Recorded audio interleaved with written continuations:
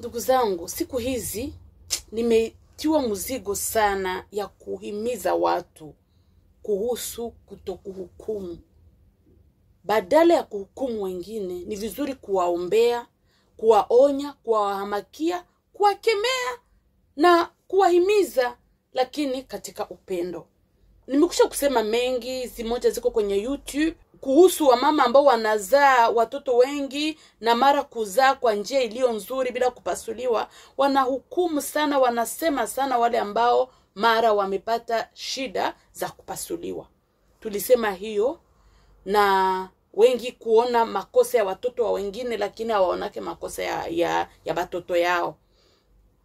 Kitu ambacho nimetafuta kusema kwa muda huu ni kuhusu wamama ambao wanakuwa wanasema wamama wengine.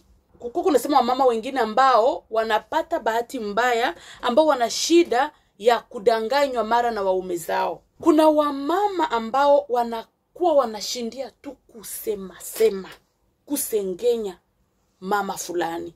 Unajua ule mama bwana yake anatokaka nje sababu hamshughuliki yake sababu hajuake muankadre sababu hajuake mswanye kitu nitafuta kusikitiza kitu nitafuta kusema.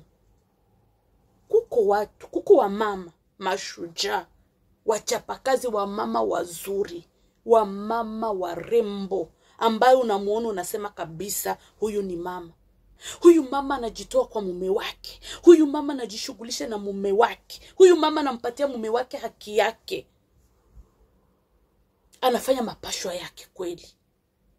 Lakini haitumake huyu mwanaume huyu mwanaume aende nje. Kumbe wakati unaona mwenzenyu anapita katika magumu katika shida hizo usianze kumsemasema haujui sababu. Shetani adui akishaingilia nyumba mama hata ufanye nini? Hata ufanye nini mama yangu? Hautamzuia ule mwanaume. Sof kupiga magoti kubibeba mbele ya tribunali ya mbinguni kumwambia baba nakataa.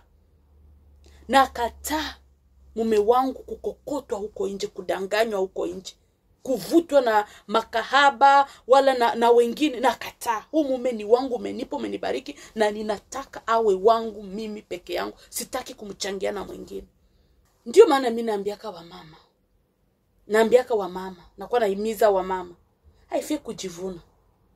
Unapita mubarabara huko nalinga manake unajaa kiburi manake unaanza jionesha weyenjo weyenjo weye ah, ah. haufai haifai lazima uwe humble.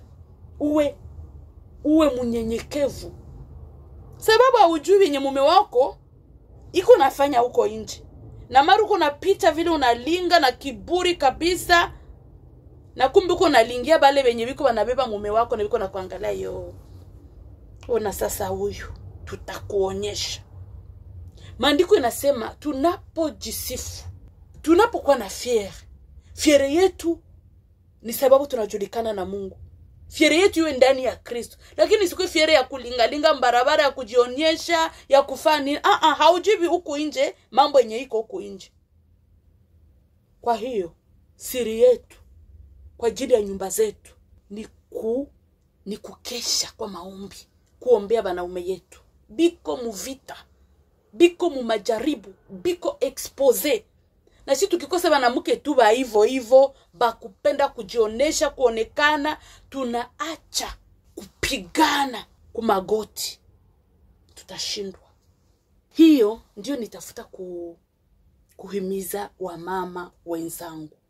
Mungu atubariki sana. Tusiwe watu wa kuhukumu kusema mwingine mwenye anapitia mu matatizo na shida.